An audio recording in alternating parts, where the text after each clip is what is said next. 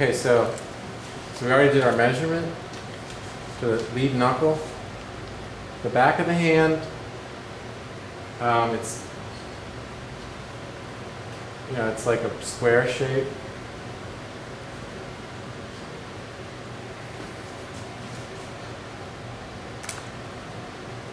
Notice the angles. Remember that the radius comes down a little bit further than the ulna. So you have that angle.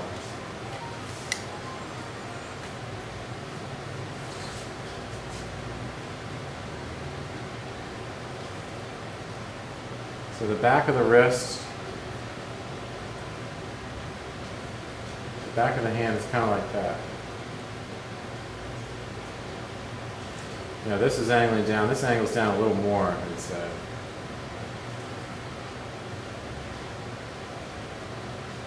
And then on the inside, you get the, uh, the triangle for the thumb. Okay? So remember I said the thumb has its own little plane? You know, you can think about it, it drops down.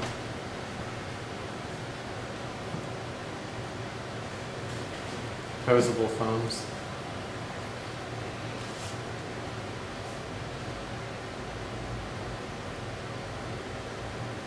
Now here's the cool thing about the front plane of this is it leads you right into that thumb plane. See that? You can look on your uh, Vanderpoel. See the light plane goes right into the into the thumb plane.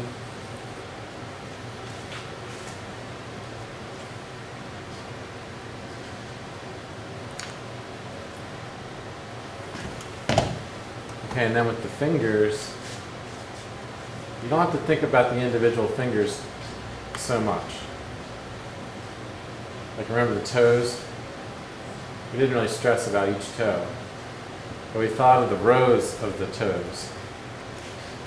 Rows of the toes. The rows of the phalanges. The back of the palm will tend to arc a little bit, right? If you look at your hand, kind of like a baseball mitt. So this, this can break into two planes.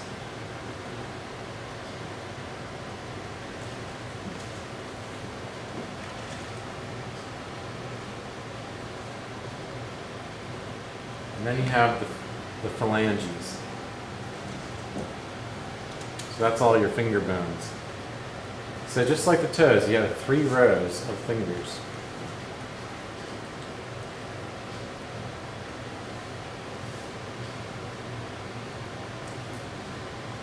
So what happens is they start to arc under, right?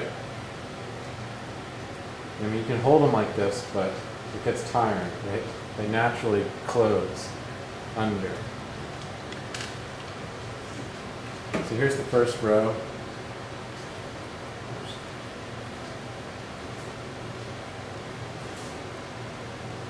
And as it goes under, it's going into a half tone, right? It's getting a little darker.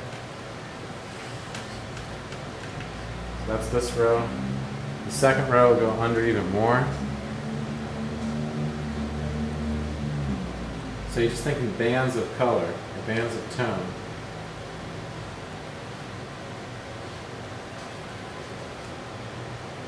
And then the final little little row is just where your nails are, pretty much. So that'll just continue. Might be hard to sculpt. That'll be going under into the dark. So if you're painting a portrait, you got to do the hand real quick. Yeah, you can make make a value or color for this part, a separate value for this as it turns under. And then under here, it might even be in the shadow. Come over to the thumb. Remember, fingers have three bones, the thumb has two. So you have this first one's real knobby with the big, big condyles on it. The second piece is like a little tapering, uh, I don't know what you call it.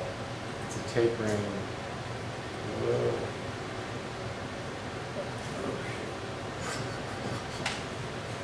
Clay's too soft. That thumb's a little long. I'm not gonna change it. Can't get in there. There's a little step down on the thumb, like here's the, the knobby part and that steps down. So you even have wedging on the thumb.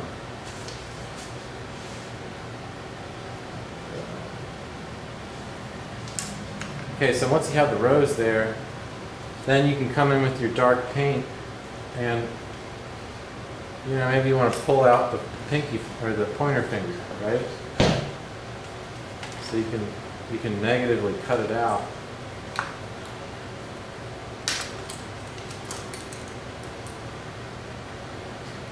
Like that. Um, this, you know, these these kind of separate, right? These fingers kind of hang out together. You ever notice that? Like, look at Sargent's women's hands. They're always like this. you know. So, so these, the middle finger and the ring finger tend to group together like that. See? And the pinky always does its own thing. You know, it's it's little and it kind of hooks a little more. You know, mine kind of bend.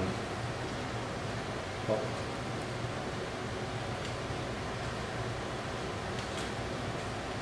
And just keep breaking it down. You can think of this as, a, as like a step down to the hand. So like here you get you get more wedging, you get the transition of the wrist bones. In other words, this part is a little higher up than this part.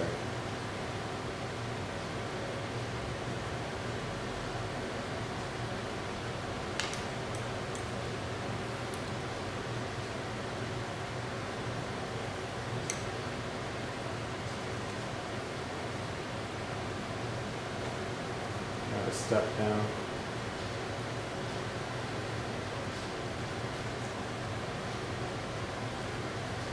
Okay, so why don't you take 15 minutes and uh, attempt the hand.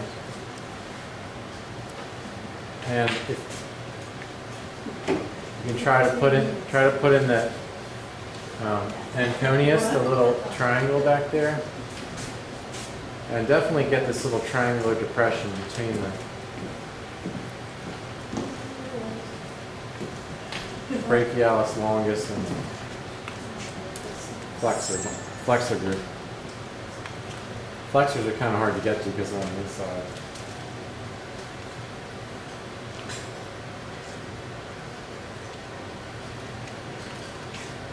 This